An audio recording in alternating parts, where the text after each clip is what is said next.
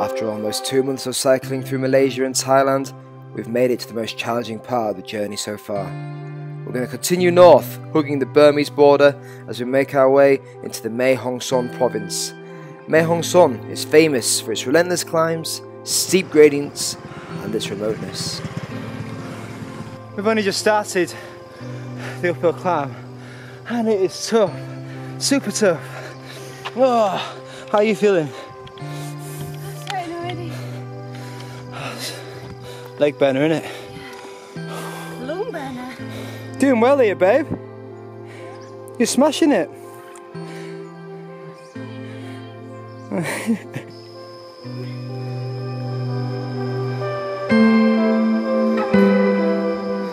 smashing it, babe.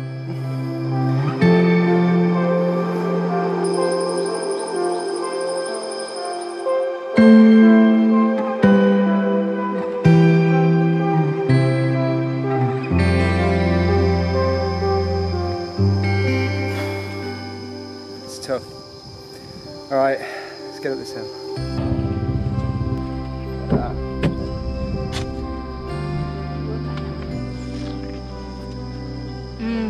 How's that feel? It's really good. It's uh, 12 o'clock and we've just made it to the point where, see the sign here, Mount Cluey. This is the mountain we was at yesterday. So it's taking us from, it's up about half seven. Taking us half seven till 12 to do what took 25 minutes to drive up. Whew.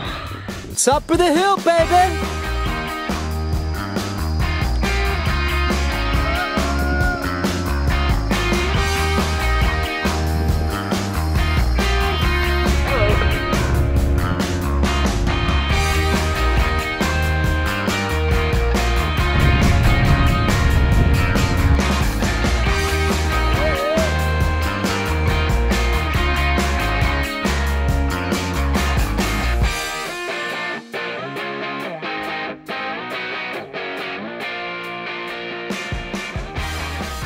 That's uh, the end of another lovely day. Yes, How was your day? it was the toughest day we've had so far for me in terms of physical toughness. It was at another level, really. Just the hills were How are you feeling now though? brutal. I feel good. I feel tired, very tired, but like the sense of satisfaction of, of doing those hills and getting here is high. It's good. Yeah. We've found a little camp spot and it's right next to a river. It's next to a national park centre so there should be some showers and somewhere to fill water up. But have a look at this view. Look at this.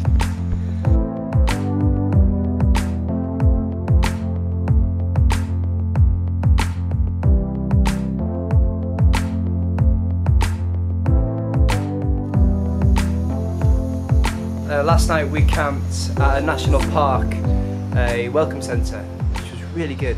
We had a big tap, showers, toilets. We had a beautiful view of the river, which is absolutely amazing. We've also got taps, so we've been able to fill up our water bottles and be able to wash our clothes. And so it's almost as good as a hotel.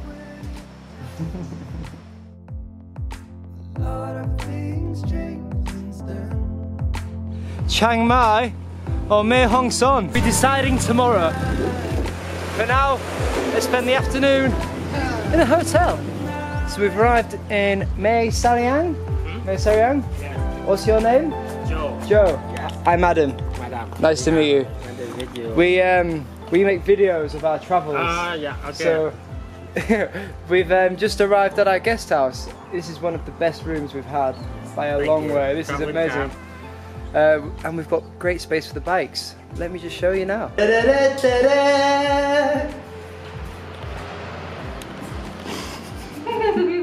so we've left our hotel, but we're still in Mae Sariang. We're having a nice rest day today. We have decided to take it a little bit more easy and we'll explain why. Um, so over the last few days I've been feeling A little bit emotional, as usual.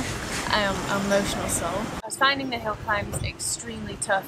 It was the toughest thing ever done physically in uh, in my life. It was really, really exhausting, both physically and mentally. It took everything, uh, all of my strength. So the prospect of doing that day after day after day in order to get to Chiang Mai in time to then have some rest days to get out of Thailand before our visa expires, it really stressed me out to be honest and I just found myself crying as usual just because of the pressure I think of having to do this these days and these climbs in such a short well not a short space of time but you know with a deadline what we came up with and we realised we've got a 60 day visa and we're using that a little bit like our deadline. But that doesn't have to be our deadline. In Chiang Mai you can extend your visa if you have a 60 day visa and you can get another 30 days. It's a fairly simple process. So we've worked out, it's now the 8th of November. We've actually got to the 27th of November to really get to Chiang Mai. So that gives us a really decent chunk of time to do these seven tough days of cycling. We worked out that seven days of cycling we can have like uh, 10, 11 days off the bike. And it just means that we can do the route that we planned, that Adam really wants to do and that I really want to do. But we can do it much, much more slowly, take our time, have rest days, let our bodies and my mind recover um, and really enjoy it and take our time. And that is just feels so much better. I think one of the things that is key for any cycle tour is a balance between making the distance and rest and enjoyment. And the moment it goes too far one way, uh, it, you, you can risk failing. So we've decided, and it's something that we need to keep reassessing: is are we resting enough? Are we enjoying the trip enough? Mm. And if you're actively dis like not looking forward to something, that's for us both to talk about it and work out a solution. Yeah. Definitely. So we've done that. We've got a solution. This is going to be the slowest Mae Hong Son loop in the world. but it's our route and it's our cycle tour and everybody that does a cycle tour does it slightly differently. Everyone's just doing their own what they want to do and what's right for them and I didn't want to give up. I didn't want to hitch a ride or get a lift or a taxi or anything like that.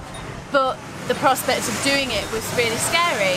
But knowing that we're going to do it really slowly and take our time and have rest days is just really perfect. So there we go. Um, that's our plan.